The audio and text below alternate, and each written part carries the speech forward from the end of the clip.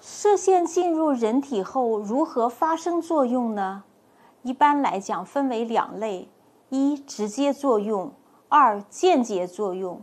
什么是直接作用呢？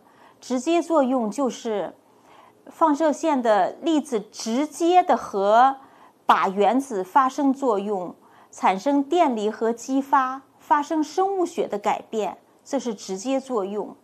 间接作用就是发射的那么射线的高能的这些粒子和把原子的刺激的电子相互作用，产生一些自由基。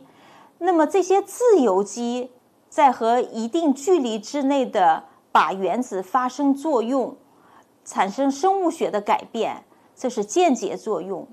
无论是直接作用还是间接作用，它们最终导致的效应是让肿瘤细胞 DNA 的双链的断裂，让肿瘤细胞不能复制。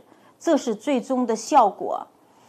我们当然是希望直接作直接作用，直接杀灭癌细胞。那么这就涉及到一些放射生物学方面的原理，L 扣模式啊，这是比较基础的一些知识。